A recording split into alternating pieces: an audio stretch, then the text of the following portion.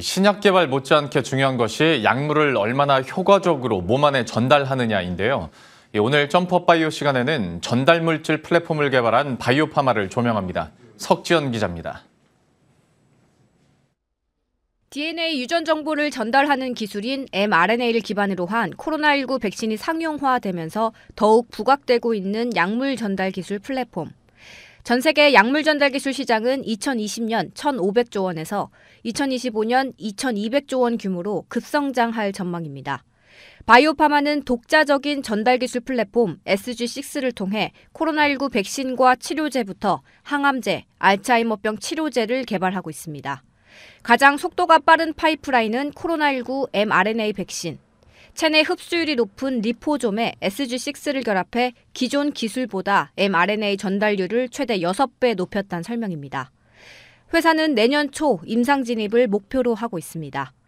대조군에 비해서 어, 저희가 한 4.5배, 5배 정도의 항체 생성률을 보여서 어, 그 데이터를 가지고 지금 어, 질병관리청, 복지부, 그 다음에 식약처하고 임상 계획서를 작성 중에 있습니다. 백신 개발사 중 후발주자지만 화이자와 모더나 등 기허가 백신보다 가격과 유통 측면에서 경쟁력을 갖췄다는 설명입니다. 저희가 개발하고 있는 리포존 기반 기술은 이미 어, 상용화된 어, 세포 독성 항암제가 나와 있는 어, 기술이 되겠습니다. 그래서 일반, 일반적인 생산 시설 구축이 쉽고 또 기반 기술이 많이 어, 알려져 있기 때문에 어, 대량 생산이 쉽고 그렇기 때문에 어, 비용적인 측면 또 시간적인 측면에서 많은 단축 어, 단, 많이 단축할 수 있을 것으로 보고 있습니다. 이 밖에도 경구용 코로나19 치료제와 대장암 등 고형암을 타깃으로 한 경구용 항암제도 개발 중입니다.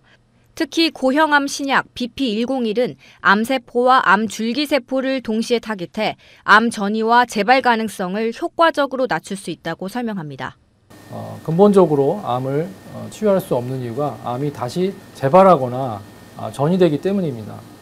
어, 그 이유는 바로 암의 근간이 되는 암 줄기세포라고 하는 것이 어, 제거되지 않고 그대로 남아 있다가 다시 어, 암으로 암세포로 어, 성장하기 때문입니다. 어, 그렇기 때문에 암 줄기세포를 제거하는 것이 암의 근본적인 치료에 있어서 매우 중요하다고 볼 수 있습니다.